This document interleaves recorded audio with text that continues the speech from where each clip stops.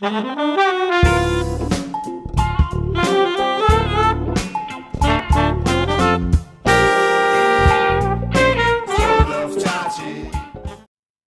there. Happy New Year. This is Vince of vinceprep.com and Agos Consulting.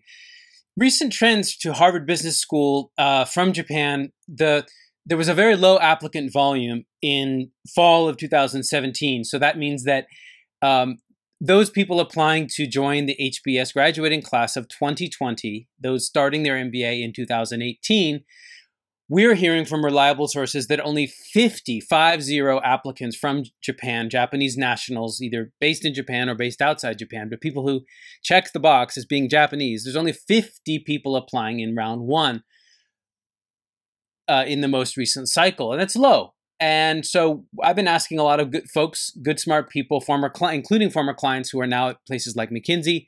Um, I've been asking around why do we think this is? And we think there's at least three reasons why. First of all, um, the first two deal with the job market, the primary job market, and what we call the secondary job market. And the third reason has to do with simply there are now other good options, including the MBA programs here in Japan. A few of them are getting eh, to be thought of as being um, quite good and and not uh, you know coming from those schools is not a reason that a, a company like McKinsey or Goldman Sachs would not hire you. They might still hire you, even if your MBA is from Japan. And that wasn't the case maybe 10 or 20 years ago. So, uh, and then finally, I want to talk briefly about how you can use this information to maximize your value as an applicant.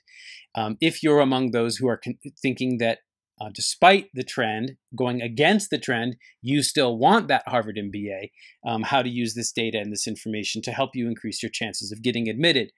So let me talk, first of all, the primary job market is not so relevant to this video, but, but it is certainly a factor. Primary job market means those people now in college, in Japanese universities, the, the, the statistics that I'm seeing are 90% or even 95% of those coming from a, a, a, good, quote, good, you know, relatively top 20 Japanese university are getting multiple job offers. So um, it's a, it's a, what a seller's market, right? Um, there are there are lots of good jobs if you're coming out of college, and so perhaps you may have thought about applying to MBA while in college, getting deferred admission, like Harvard has two plus two, or Stanford has deferred admission, or Yale has what they call silver scholars. Getting admitted, then going and working, and then having a guaranteed spot. That's maybe not as attractive.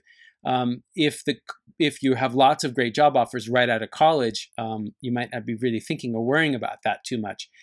This the second factor I think is more relevant and more interesting, which is that this is a real shift in the market. Is that it used to be the case that to get a job at McKinsey, if your first job was at a say Japanese company and you wanted your second job to be at McKinsey or Goldman Sachs, for example, um, you needed an MBA in many cases. The company, the hiring manager would say, look, we really like you, but go get that Harvard MBA or the Wharton or Stanford or top MBA and come back to us because it's sort of a credential.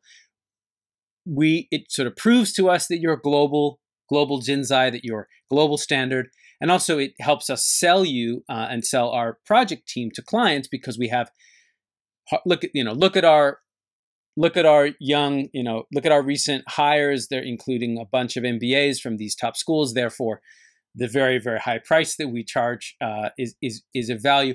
That's increasingly not the case. I'm hearing from clients who are doing hiring or involved in hiring at companies like McKinsey um, that you could you could go straight from a top Japanese company into McKinsey or Goldman Sachs or J.P. Morgan or Bain or Boston without getting the MBA first. And that's a big change. Um, and finally, the third factor is that there's just more competition uh, outside Harvard and also even outside the States. When I started doing this, there was the US sort of M7 schools. There were also, there was London, and then increasingly INSEAD has, has rocketed up in the rankings and, and established itself as a really strong option. Um, but when I started doing this work in 2002, Hitotsubashi ICS was a good program, but now it's considered to be increasingly strong. And again, back to the, the client um, who's involved in hiring in McKinsey is saying, look, when I see a resume and someone is otherwise a very strong applicant, has a good academic background, has a strong professional career, um, and their MBA is from Hitotsubashi ICS or maybe Keio MBA, I don't immediately, you know, throw them out. I keep them in the pile and, and want to meet them. Um, and so that's a, a game changer. Uh, and it may be also impacting the low applicant numbers from Japan. And the final thing is sort of how to use this information. So if you're deciding that you want to apply, first of all, um, you know, it, it, this is a good opportunity for you. Um, if you're if you're working in a Japanese company and your goal is to go to McKinsey or Boston or Bain or J.P. Morgan or uh, McKinsey, I'm sorry, Goldman Sachs or whatever. If your goal is to go to one of those top firms, find out would you hire me now pre MBA? Um, if the answer is no, absolutely not, get the MBA, then you know. Um, I think you should be talking to recruiters and seeing what's your value now in the market pre MBA. Find out, do a bit of market research, do your homework, um, plan ahead. If you're still, if you're look, if you're watching this video while you're still in university, I think it's a very good idea to take a GMAT or take a GRE. You have a lot more time to study while you're in school um, you're you're in an academic mindset. Trust me, you're going to be a lot busier when you start working than you are now, and um, the scores are good for five years, at least for GMAT, GRE, and TOEFL they're good for two years anyway. Take a few tests and find out um, before you invest a lot in test prep. Um, find out what your base level is, and find out you know you can throw the score out, um, but just take some tests now and see what your options are plan ahead. Right now, the job market is very hot, but who knows, right? Things change, and um, think long term and keep your and finally keep your options open.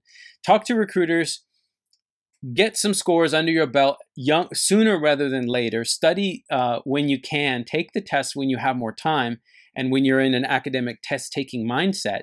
Keep your options open. And if you decide um, that now is the time and you do want to apply to Harvard or a top MBA program, um, the good news is you're going against the trend, and so you can do things to stand out. It's easier to stand out in a group of 50 than it is to stand out in a group of 100. That's just common sense. All right, I'm going to sign off for now. As always, thank you for watching. Please do subscribe. Subscribers are the first to know when I've uploaded a new video. I love making these videos every chance I get. That's all for now. Best of luck with your application or your job interview or your life. Uh, all right. Take care. See you soon.